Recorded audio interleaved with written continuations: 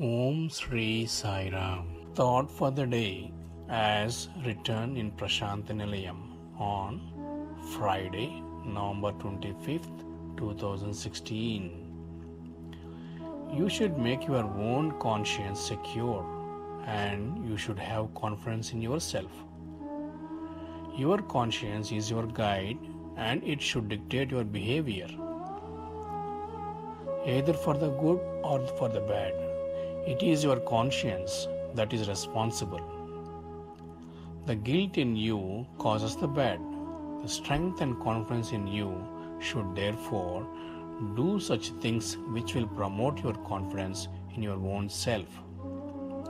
That is why I repeatedly told you that you should follow the four F's. Follow the master, and that is your conscience. The second thing is to face the devil.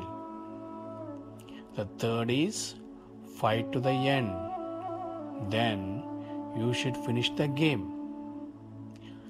If you remember all these four injunctions such that they are resounding in every moment in you, there can be nothing more sacred than this in your life.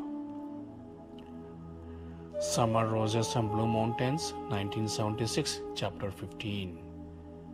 Baba.